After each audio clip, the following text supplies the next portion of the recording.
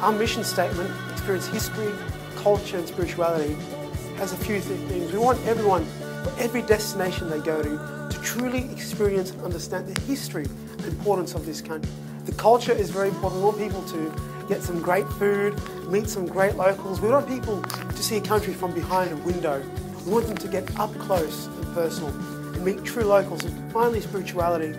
We want people to understand that each country has a different faith and religion that they visit, to understand the people, but also the bond you make on tour, the friends you make, that's extremely important and that's a bond and a spiritual experience you'll have just with your friends and family while on tour that will last you a lifetime.